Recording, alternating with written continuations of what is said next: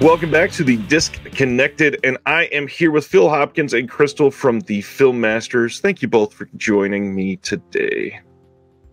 Good to. I am I'm thrilled to have you here. Uh, one thing that I probably should start with is Film Masters is uh, a new venture for for you, and what we had before was the Film Detective that you were associated with, correct?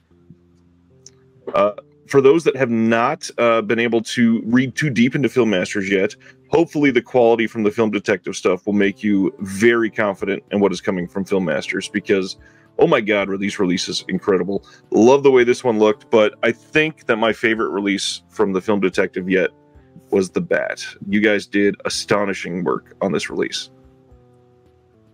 Thank you. Yeah, it's a labor of love. gifts gifts to the universe. Oh, absolutely. And I I'm a big Vincent Price person. So when that got announced, I was just giddy. Uh, any any interesting stories on the background of getting the elements for the bat and all that? Yeah, I mean, the interesting thing about the bat itself, we had put it out um, previously, and what little did we know that we would be doing physical media forever.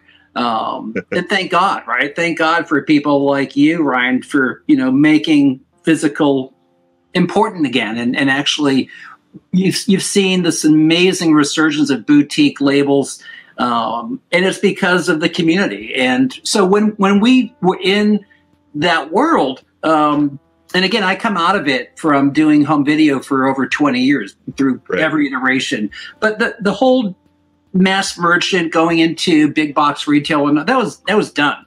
And so we were approached um, by Allied Vaughn who was introducing mod and they said hey no inventory. You, you, you sell one you sell a thousand it, it, won't matter. You're not on the hook to make you know gazillion pieces of the dvds or the blu-rays. So our first release of the bat was mod through Allied Vaughn that was probably i don't know 2015 2016 Right. And ironically, it was our last release as as the film detective.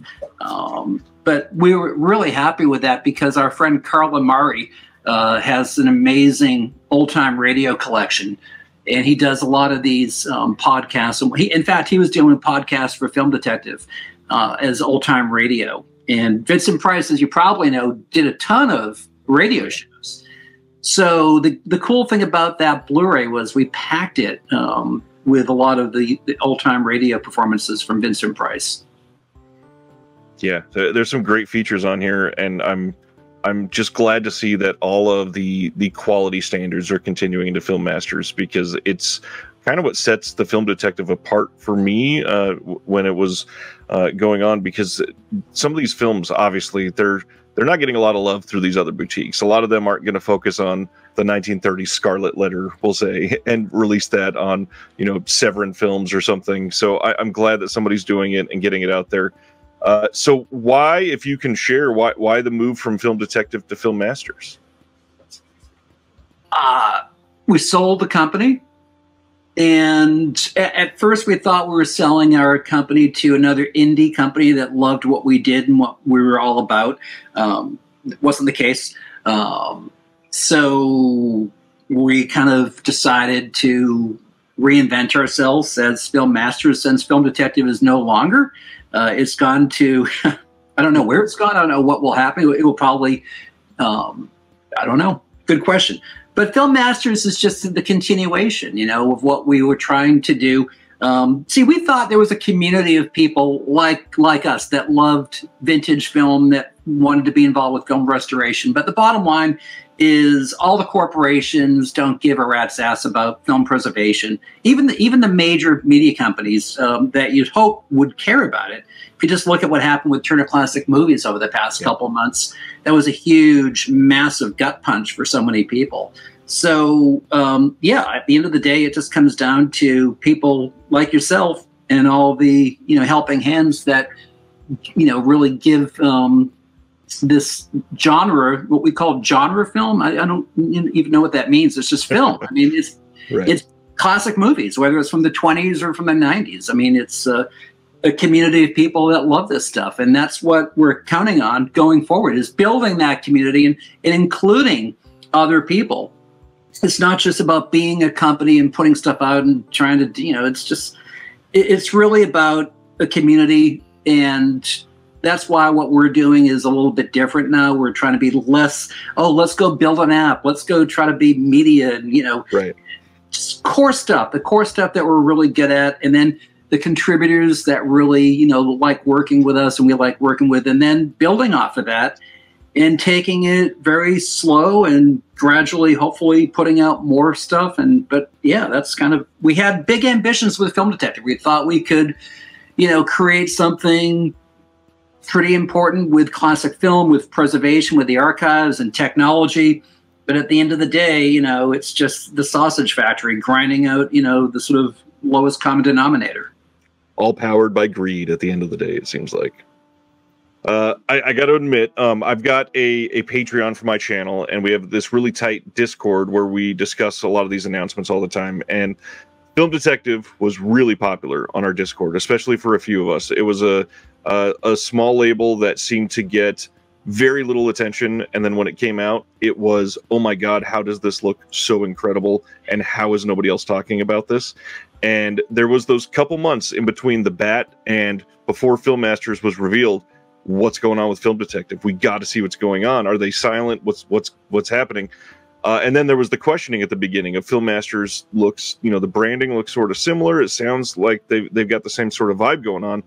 And then when we finally realized it was going to be the same quality and same passion behind it, that was one of the biggest reliefs that I felt in a long time because I could tell that that love was still going to be there. So thank you for continuing. Thank you. Thank you for supporting it and loving this. And and you're and, and you're right. I mean, even even for Krystal and myself, just to be able to kind of put the band back together and get some of the former contributors that we we loved working with. I mean, this stuff right. is a labor of love, right? And n- not having that in the mix and then deciding, you know, how do we do it again, but do it a little bit differently, but do it the same without repeating it and it was all those nuanced things, right? Like you know, even you know, working with Daniel again um, with Ballyhoo, uh, that's such a significant part of our releases, and and the team of people that everything from the authoring to the liner notes and you know it, it's it's a it's a, a lot of work to sort of put that level of care and attention into one release.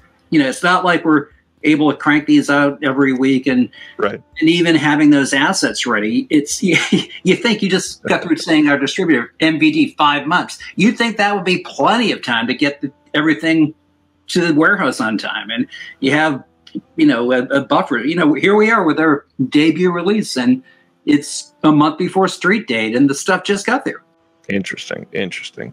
Uh, so before we dive into the current and future iteration of Film Masters, can we go into backgrounds a little bit? Uh, I mean, you've been talking about how you've been doing this for 20 years. Can you share what what all you've done throughout the last 20 years? Because that's a big time chunk when it comes to physical media and film in general. The the, the landscape has changed kind of dramatically in that time. Yeah, it, it, it certainly has. So when I started doing first of all, I never thought of this as something you could do professionally and actually do for a living. I don't think I don't know if you even can today. It's more of a sort of boutique, and hope, hopefully you've got the resources. Um, but there was a time when putting out physical DVDs and things of that nature um, could you could make a decent living, and that was because there was so much available that for home video when DVD became the format and sort of the first release that I, ironically the first release one of the first releases I put out was 23 years ago. I put out a DVD of The Terror and Little Shop of Horrors on standard definition DVD from 16 millimeter prints, and we thought that was the cat's meow holy cow, we can actually put two movies on a DVD um, together and press it into this cool format that's not tape that's going to not get jammed into your tape player. Um, and then ironically, here flash forward 20, 23 years later, and our last release of 2023 is The Little Shop of Horrors and the Terror. The Terror. That's amazing. So yeah, it's you know we've we've done this for so for so long, but my God, if if I knew 23 years ago the resolution and, and working in 4K and having film scanners and being able to do digital restoration and take all these right. imperfections and have things look even better than they probably look theatrically because a lot of these films didn't have many release prints when they run around to various movie theaters. So by the time they get from point A to point B, the prints were, you know, all scratched up and beat up. So you look at yeah.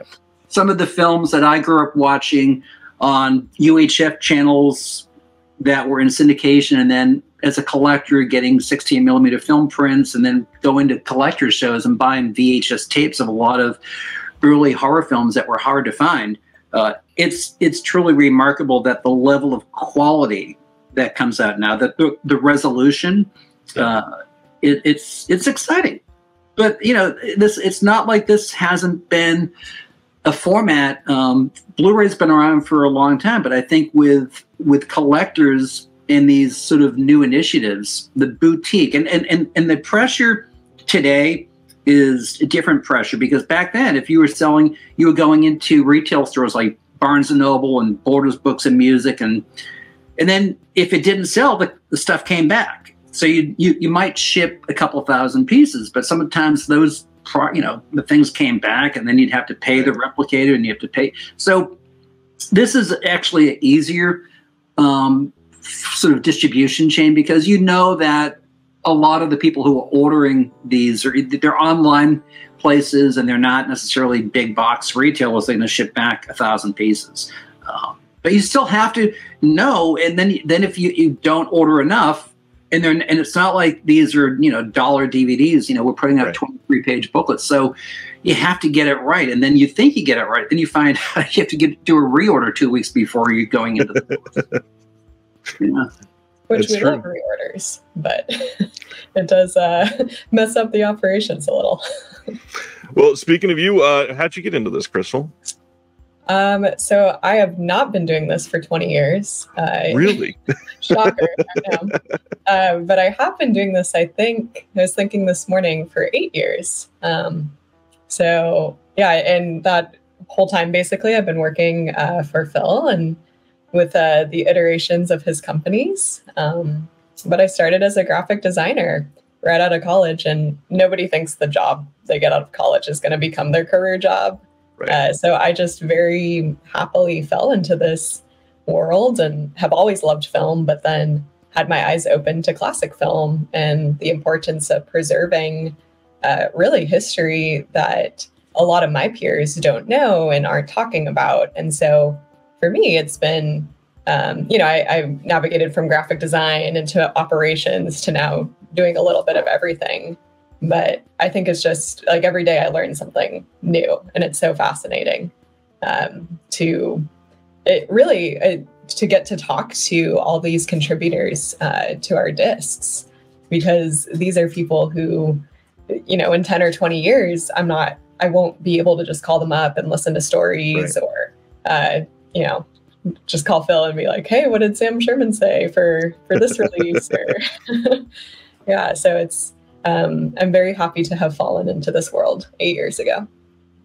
And even the last eight years has seen some crazy evolutions. I mean, look at you know, streaming eight years ago was it, it existed, but nowhere near the iteration that it's at today. And uh, you know, there some people speculating it's you know plateaued and we're we're on a little bit of a downfall for a little bit now. But um, curious, you know, with with both of your perspectives, how do you how do you feel that these last, uh, we'll, you know, we'll say twenty years for you, Phil? What what do you think has been some of the the major changes that is going to shape the immediate future for us? Because home video, obviously, it's been told it's on its deathbed for what twenty seven years now or something. yeah, but they they said that about the, the vinyl industry too, right? right? So I think with the collectors, and this is where the, the, the iterations do change in terms of um, buying things at a big mall store versus getting things through a, a boutique company in, in, in, an online sort of environment. And, and that's going to be very different. Um, but I think you're right. I think that, you know, when, when we started um, getting into streaming, oh man, I, I think we. I think it was our, right when I started. It was. It was eight years ago. Yeah, wow. it was first day of work. Hey, can you, can you uh, figure out how to work this platform, this partner that we're doing? And, uh, you know, I'm all sitting there thinking, what's a streaming app? I've only heard of Netflix. Like, wasn't right. that the only thing? exactly. And that's, and that's right. So we were building what we thought was the future, the way we were going to survive out of the death of home video and yeah. Find a way to keep, you know, surviving in this sort of new landscape. So we we got into the concept of building a classic movie genre film app and you know, I think what was it 20, 20 yeah, probably right at the end of released like 2016, 2017. It yeah. took me a couple months to figure out what was going on. Wasn't a day one venture, got it. Uh, yeah. but we always we always felt like this would be the future of surviving and actually having a way to promote our films and what we were doing with partners and then all the institutions that we are uh, pulling film out of and hopefully putting film back into. Um, right. So we thought that that was going to be the wave, right? And then in and around the time that we were building the Film Detective app, um, Turner partnered up with Criterion and they came out with Filmstruck, which we thought was this is great. You know, yeah. this is there's going to be 10 of these and this is going to be a very healthy environment and this is how we all survive out of the transition from home video into streaming well you know eight months after they announced filmstruck they they said they were going to close it down i said yeah.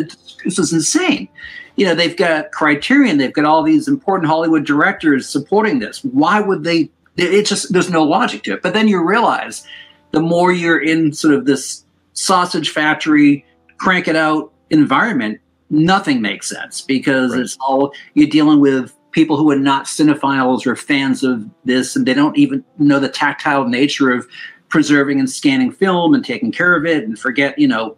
So that's when we said, well, maybe we'll be that company that can sort of carry it forward. Um, and we and, and, and we got heavily into building the app and building uh, a marketing plan to get to the various you know like apple tv and amazon and roku and all that stuff and Krystal was probably you know working both as a designer and also working as a, an app developer to get all this. this is sort of learn as you go i've always said you know no matter what you do in any sort of profession learn how to be the maitre d, the cook, the waiter, the dishwasher, do everything, soup to nuts.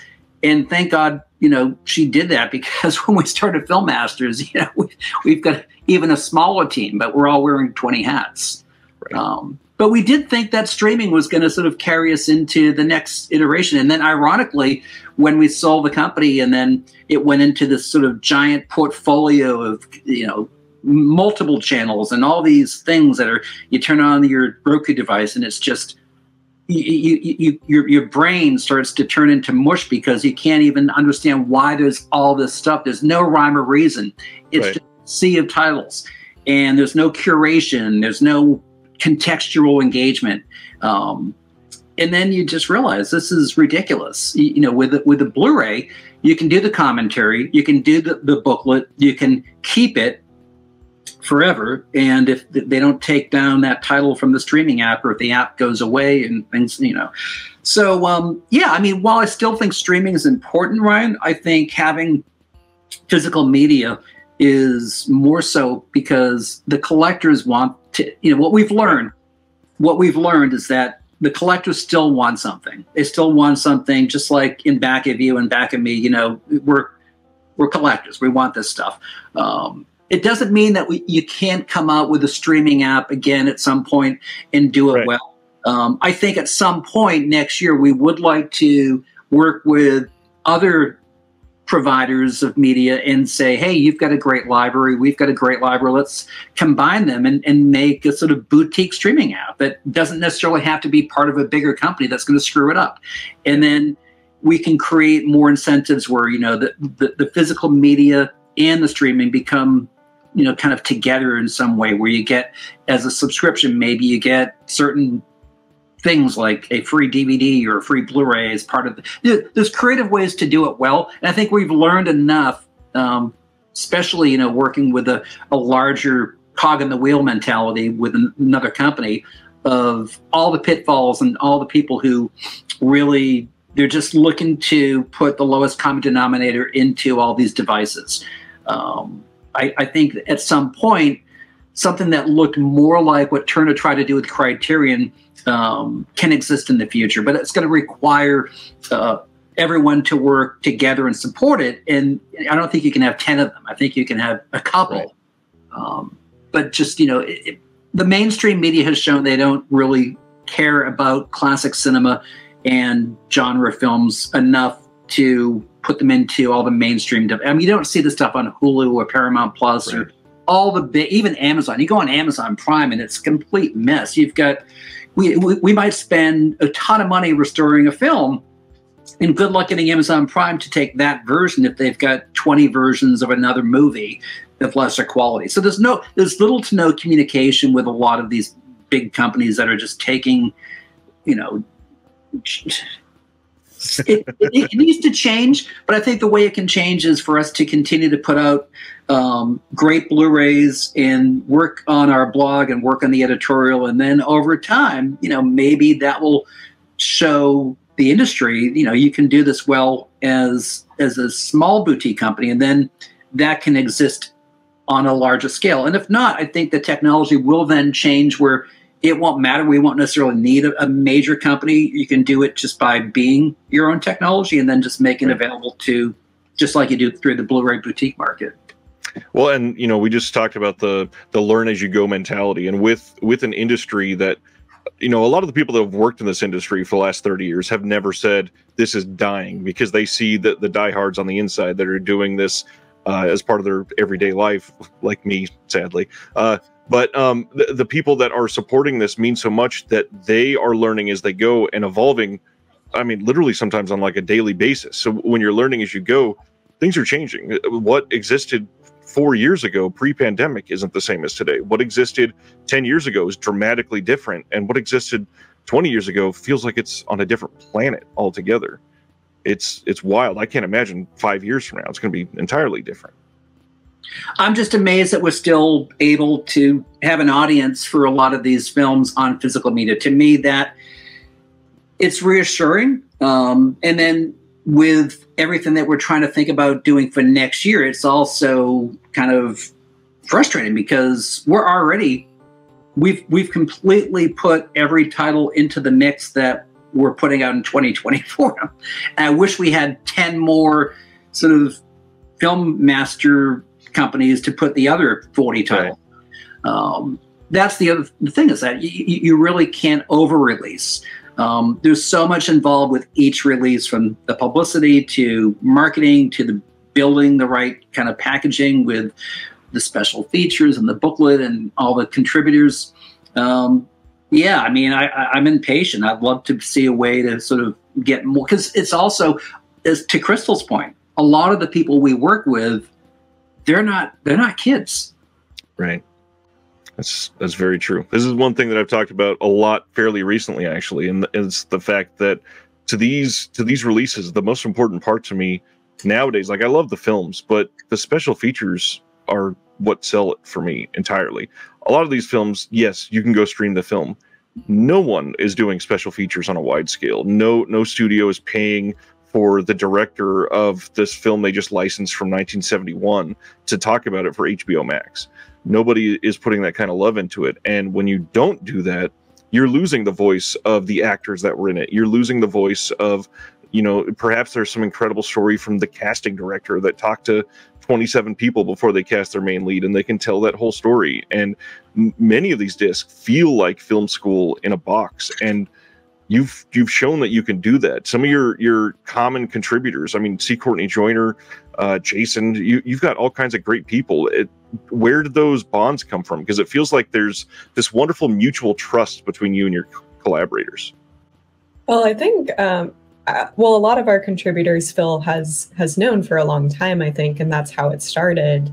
Yeah. Um, but then a lot of our contributors are just fans or friends of Daniel, and they've reached out to us. And uh, I've spent a lot of time on the phone. Phil spent a lot of time on the phone, just talking to them and building that trust. So we we can get to a point where, um, you know, Courtney called me for a release we're working on and was like, hey, this is out of the box. Can I do this concept and link, uh, do this linkage? And I was like, yeah, that that is kind of, you know, a different thing, but I think that's something people really appreciate. Just take your idea and run with it. And yeah. You know, I, I think that's built from trust. Is I, I know that Courtney's not going to put anything out that uh, you know people wouldn't appreciate and it's it's giving him and, and others that creative freedom to just kind of explore whatever rabbit trails uh, that we really get the gold from yeah we're really lucky i mean i think that and if you look at the group of individuals um, including someone like tom weaver. I mean i was a huge fan of his stuff you know going back decades ago. So having people like that, Sam Sherman, you know, as a little kid, I remember watching his films when I was 12 years old on Saturday mornings on the sort of goofy creature feature show when they showed Dracula versus Frankenstein. I said, this is just, you know, it, it, the fact that he had people like J. Carrol Naish that were, you know, and John Carradine and actors that I remember from really old films. The fact that Sam had actually given them and repurposed them in his films, and then talking to him on a daily basis about different titles or different stories. And it, we're, we're we are so blessed to have all the group of people that orbit what we do. Um, and that's really what we miss. When when we started Film Detective, this was the part we loved the most. Um, working with everyone from people who worked in the archives to authors and writers and contributors um, because they care so much about this stuff. It's one thing to want to put out a film and restore it, but to do it with a group of individuals that are equally as passionate about it, that bring all of that enthusiasm to the project, that's you know that's what we missed so much, and that's kind of why we're we're really excited to be back at it.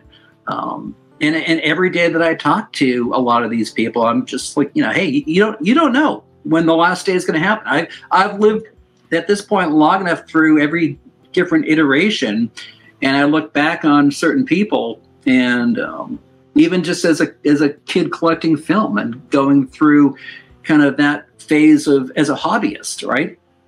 You just look back and say, you know, I'm glad someone like Krystal, you know, is still in the mix, who's young enough, who is now learning about things, um, can bring it forward. Because 20 years from now, you know who's going to remember a lot of this stuff that's true and and one of the things that shows through the film detective stuff and what you have coming through film masters is that passion that attachment i mean not i'm not going to name any names but uh, you know 15 years ago there was plenty of companies that would release here's 50 creature features on you know 10 dvds and they're just haphazardly thrown together because they got a bunch of licenses and they'll sell these for $25 and people will buy them because they watched them as a kid. But when you have these in hand and you can see uh, a booklet and read about the creation of this film, you can read about the cultural impact. You can feel, you know, the what Phil had to go through to find this film and be able to restore it. Uh, like that that means something to a lot of people nowadays. It's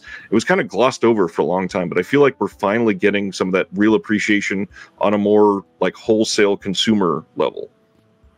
It's uh, true. I mean, if you think about just sort of, you know, I mean, for me, um, I've, I'm at a, I'm at the point where I realized that film film collecting that ultimately became film hoarding. You know, you kind of you get to that moment, the epiphany, where you say, "Hey, you know, when I'm gone, who's who's who's going to come take this away and deal with it?" So. Um, we've built an appreciation for all the major archives. And what we've tried to do is is leverage what we love in terms of film preservation, releasing film like we're releasing, but more importantly, getting things into major archives. So there's not a big dumpster in a truck at some point. Right. I've, I've been that guy pulling up in a 51 foot semi.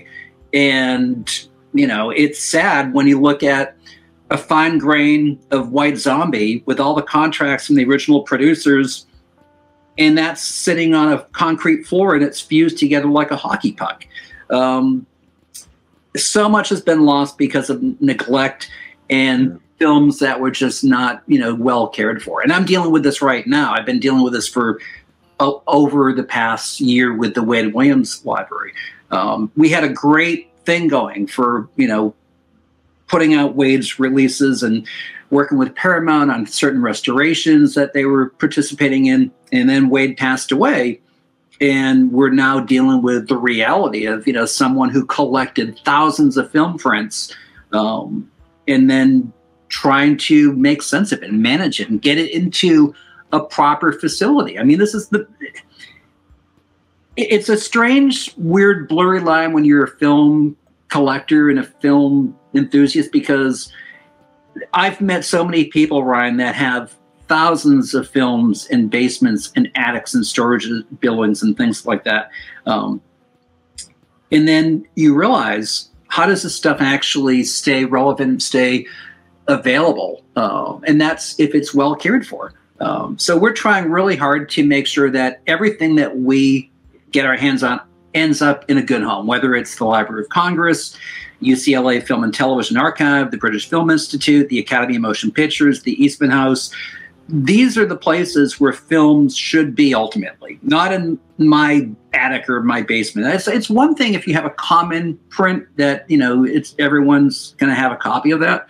Um, but if it's a significant film, um, or it's even like some of these lower budget B grade films or Poverty Row films, very little is left of this stuff. I mean, it's truly miraculous that we've been able to release something from Majestic Pictures, from the original camera negative. The, the Scarlet Letter that we're putting out in November.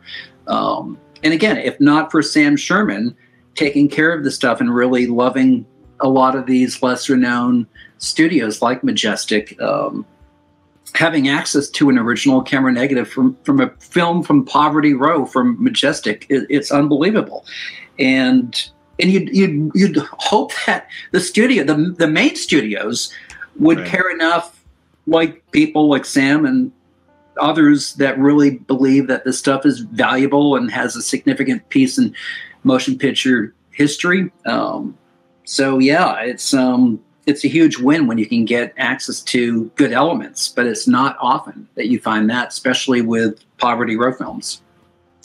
I don't want to go down like a negative road, but are there any specific studios that you feel like really are giving that sort of respect to some of these older films and archiving them properly and really heralding that that idea of classic film?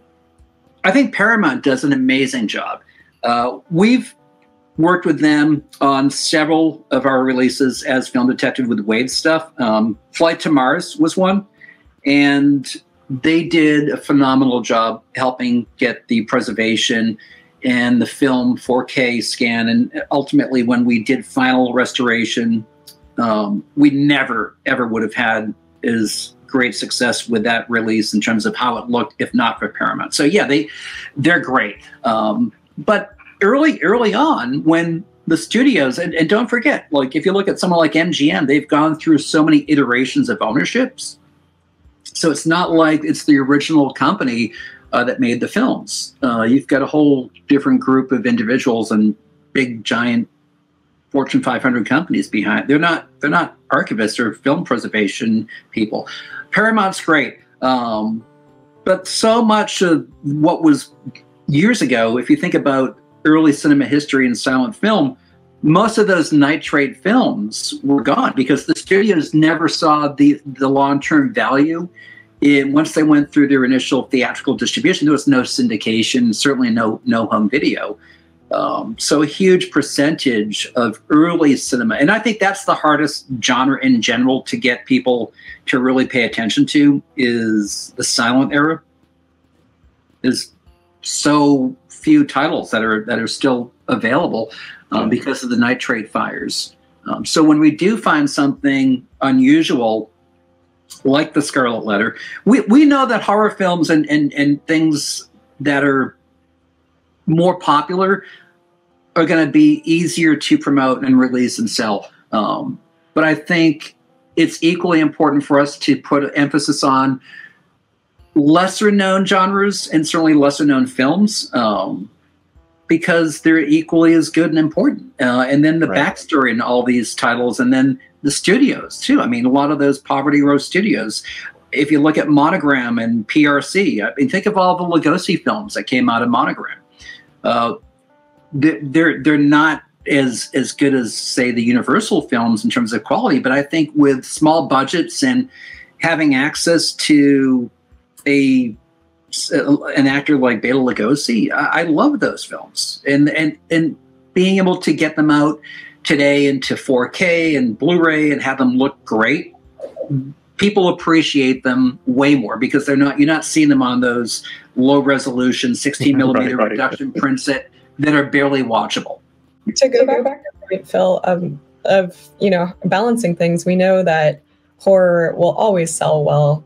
Um, but we were very intentional with a Scarlet Letter, and even looking forward to 2024, it's you know we could have released 12 horror Blu-rays or, or planned to release 12 horror Blu-rays, but um, I think even when we were first sitting down with the start of Film Masters, we said, you know, let's how do we balance the catalog? How do we uh, stagger these releases so that we don't just become the horror like another horror company? Right. Not that there's anything wrong with that, but we do really seek, I think, to preserve or curate things from all eras of film history and all genres.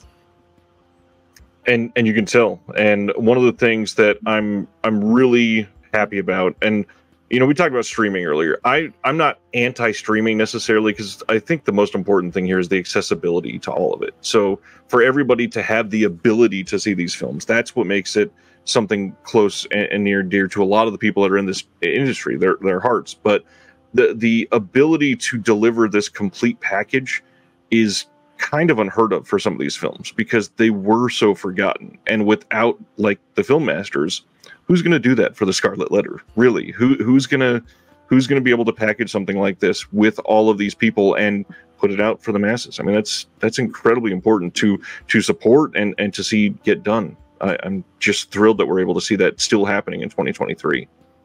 And again, having having access to the original, I mean, just the fact that the original camera negative to the Scarlet Letter exists, right, is amazing, mind blowing. And then, and thankfully, then if you look at someone like um, UCLA, who who helped with the preservation print that we ultimately scanned and made the you know 4K master from. Uh, it, it, takes it takes all these institutions and all the people to to make this even viable and make it work. Um, just the photochemical process of making a new preservation print is incredibly costly.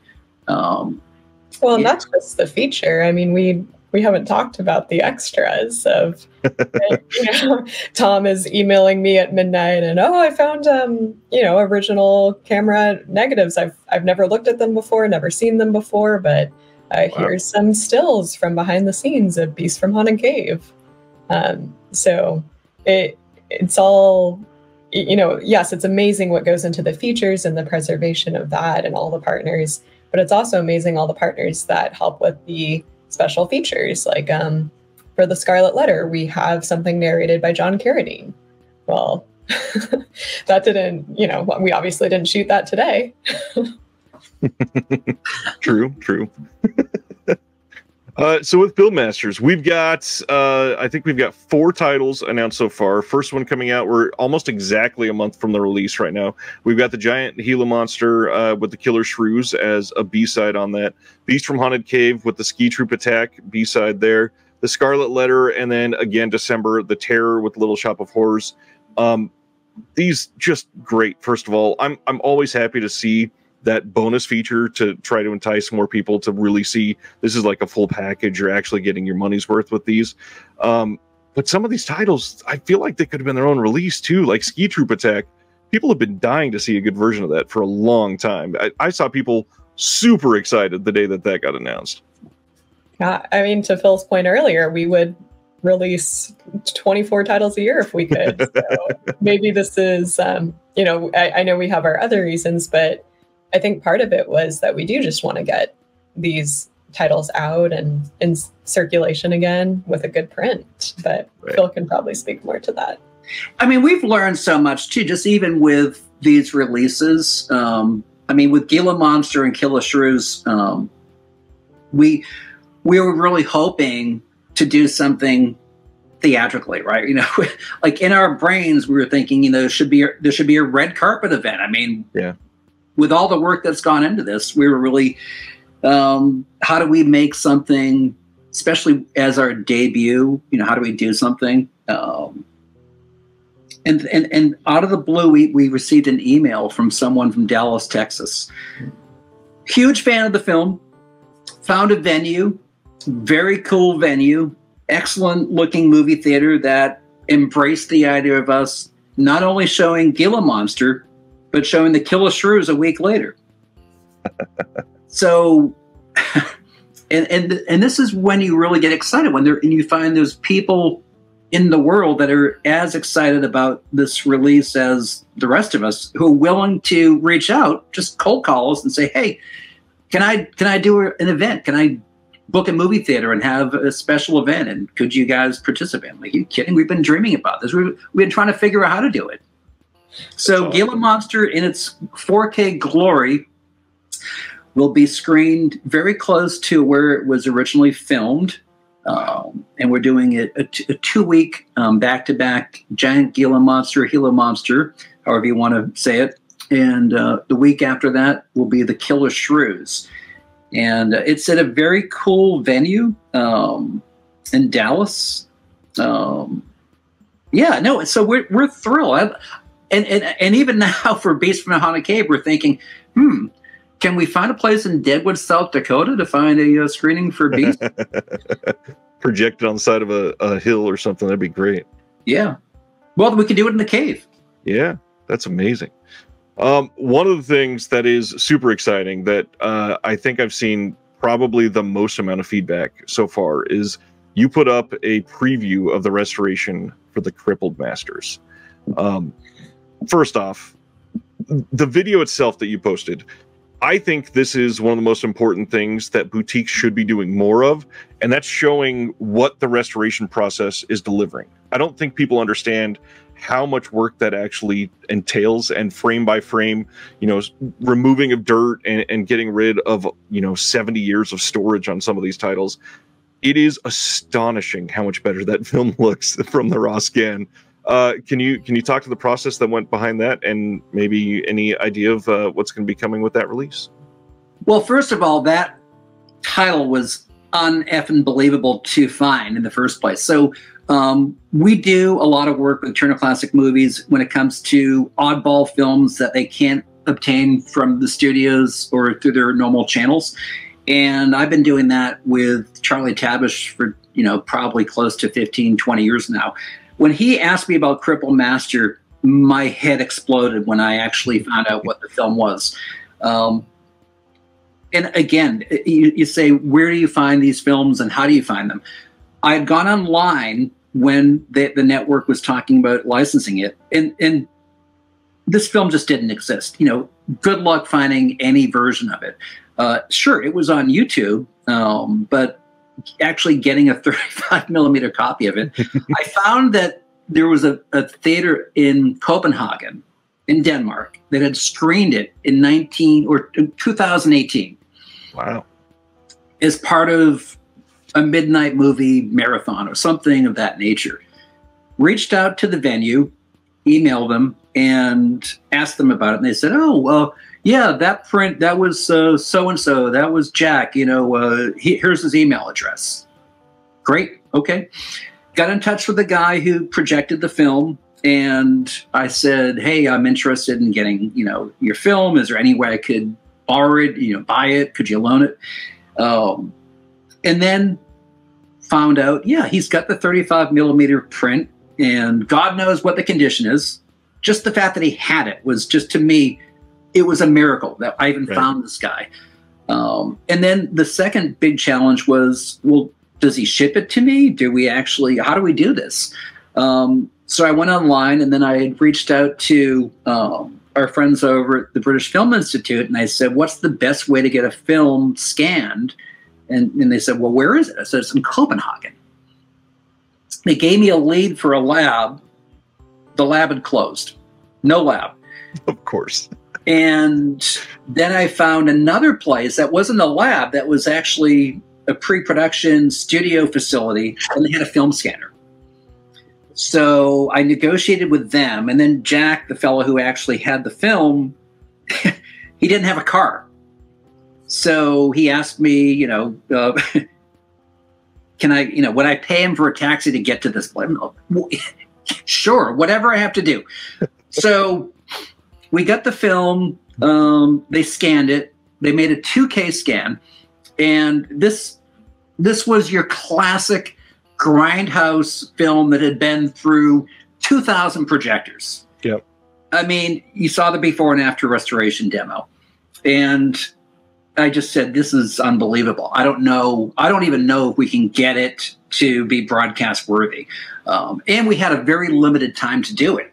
Um, so they sent us the digital file, and um, and we ran it through, you know, our whole process, which we have like a ten step restoration process, um, soup to nuts. And when I watched that on Turner, I sat down and I watched that live when they aired that, and I just could not believe how it looked. I said to myself, "This is this is truly one of the most satisfying moments of the 20 years I've been working professionally in this industry." And and I didn't even know. I said, "You know, is there even an audience?" I mean, I'd never heard of the film. I mean, I wasn't on my radar. And then we posted. Uh, no, some actually the host, the guy who actually because the film was on as part of a um, disability and film week that they had done on TCM. Yeah. And the, and the guy who actually wanted the film posted something on Twitter, I think that night. And then I realized, like, holy crap, you know, people are totally into this film. Ooh. And then Krystal and I talked about, you know, maybe we should make this a Blu-ray, and there seemed to be a lot of interest. And then we posted the before, the before and after restoration.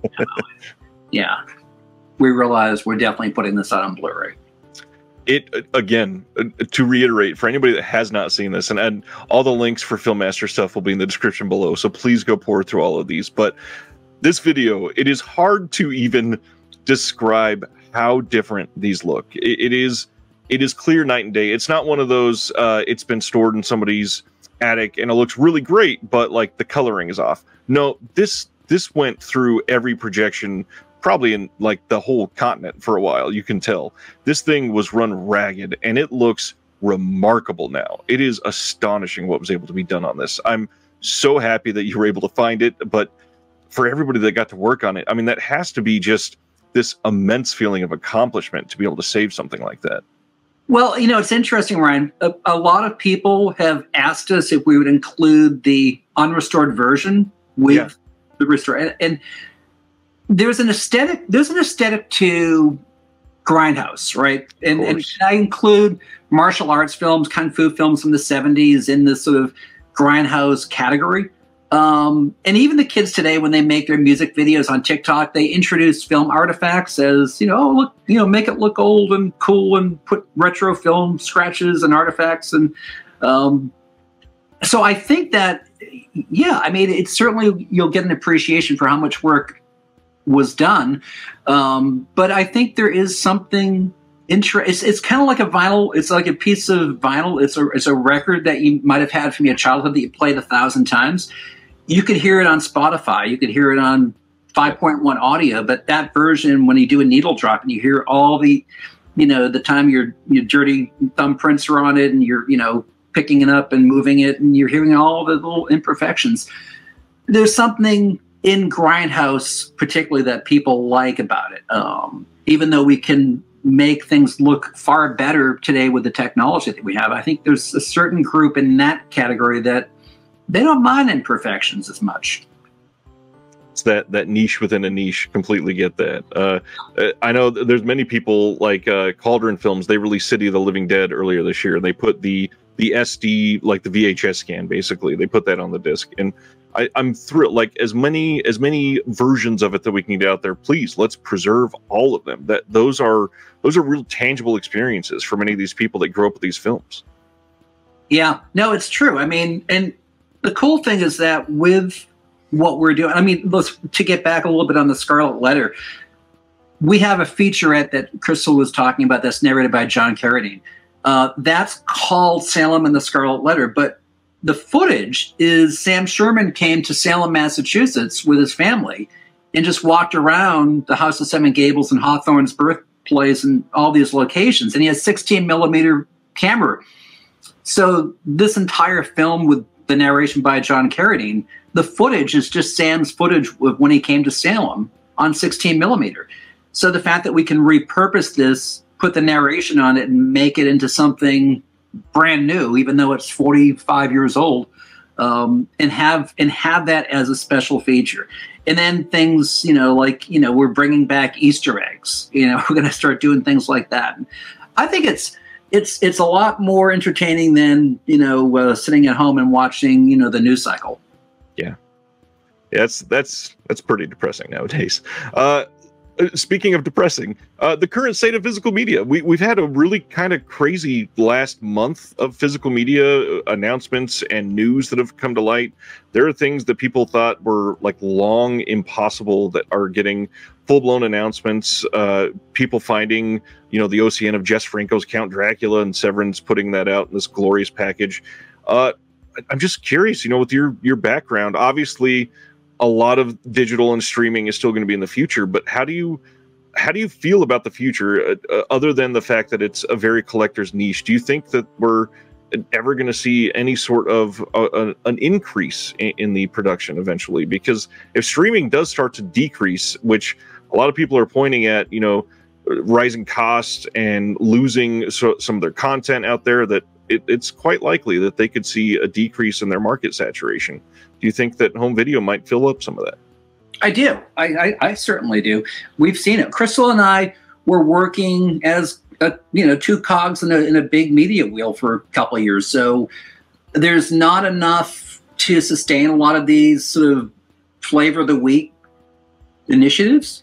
Yeah. Um, and people who are fans of classic film, uh, they're willing to make an investment in getting these really great deluxe versions and having stuff that they care about. It's uh, it's different. It's it's different than what you're going to get on Disney Plus or you know you're. I mean, and I think that there's only so much you can do with that. You, you buy your TV at Best Buy, you you put it into your room, and then people either want to watch a sporting event, the news, or Netflix. You know, that's sort of lowest common. You, you, you can't turn it on and have a sea of 6,000 streaming apps and just right. not going to work. It's the same. It's the same overall overwhelming experience that we had with cable and why that was a downfall. It's just going to come back the way it was, in my opinion. Um, I mean, Film Masters, you've got these four titles announced. Uh, anything about 2024 other than potential teaming up for streaming that you can talk about? Yeah, I mean, uh, so I, I, guess we could talk a little bit about our uh, January release, which has not been announced yet. I'm sure the minute I put it into the system, everybody will know about it, uh, as we were talking about frequently happens. Um, but we are we are releasing Devil's Partner and Creature from the Haunted Sea. Wow, nice! Another double feature, another genre double feature. People be th- thrilled about. Which which were actually released at the same time.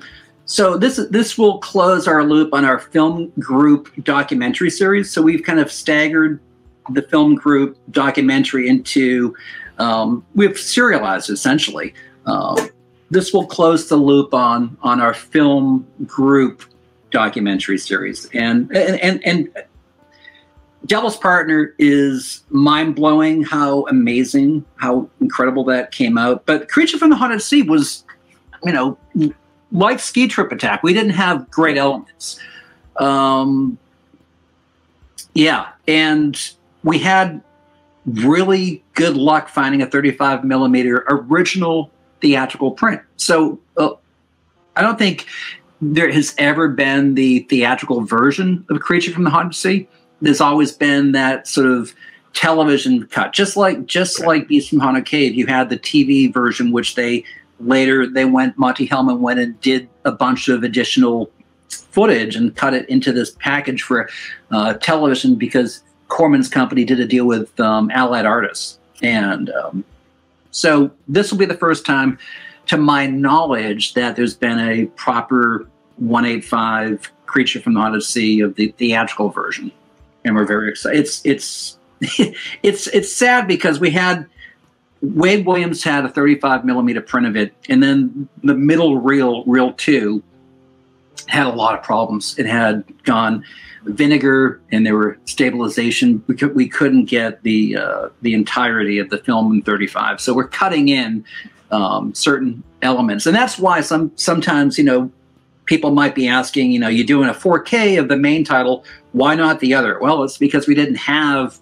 right. entire film of 35 millimeter to do that. We had to Frankenstein it a bit, and um, while it's going to look better than it ever has, you know, it, we didn't have perfect elements. Well, and again, accessibility at the heart of this. At least we have it, and that's that's the best way to get these out in the best possible format, and and again, better than they've probably ever looked in the mass market, at least. It's incredible. Um, I mean, thanks for revealing that. I I'm stoked on that, and it's it's crazy that we're in this time of you know these films getting uh, preserved for you know the actual film itself getting preserved in its best case, but then preserved on home video. Uh, I mean, just this morning uh, we got an announcement. I never thought we'd see this massive box set of Coffin Joe uh, delivered from Arrow Video, and and something that you know people had been rumored that was lost in a fire years ago. So it, every day it seems like we're getting these amazing first in a lifetime type of announcements? Well, I spent, you know, when I was in my 20s going to Chiller, probably easily $100, $200 in Coffin Joe VHS tapes. Yeah.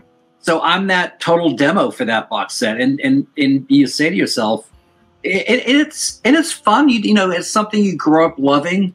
And, you know, for me, starting out with, you know, eight millimeter truncated castle films and then getting 16 millimeter reduction prints, to be able to actually see things like a Coffin Joe box set in in my lifetime is yeah. is phenomenal. And again, we were talking about extras earlier. That that thing has extras like crazy. So it's it's nice to see a younger generation be able to to be, uh, you know, thrust into the world where they can discover this person that was iconic for an entire country. And the films that Film Masters is putting out, it's it's close to that sort of thing. These were iconic impactful films for a lot of people, and I I hope it reaches some of these young younger generations. We do too. All right, Phil, Krystal, thank you so much for your time today. Is there anything else I didn't ask that you'd like to share with everybody about Film Masters? Just um, check us out at filmmasters.com, and I'm sure um, if you're a contributor, if you're into what we do, uh, we're always looking for people to be part of our editorial team, uh, whether it be for our blog or some of our um, YouTube channel features like Legendary Faces um, that we feature a certain iconic actor or actress and create these little mini documentaries. Um, yeah, you know, we're it's just a it's a huge giant group of film geeks and we're just trying to make it sustainable so we can keep doing it and hopefully uh, you know, a year from now, we'll have the next batch of 10 or 20 titles in the pipeline. Can't wait to see what's next. Thank you so much for you guys' time. And uh, like like Phil just said, everybody, all kinds of links in the description. Please go check them out. This is one of those companies that, uh, you know, if I could afford to support everybody, I would. But this is one that is important. This is the one that that film preservation is at the heart, and you can tell. And I, I just thank you guys for the amount of work you're doing. Thank you, Ryan. Thanks, Ryan. Have a good one. Thank you for watching The Disc Connected. On the way out, make sure that you are subscribed to the channel, that you've liked the video, and that you've copied the link to be able to share it with someone else that may appreciate this.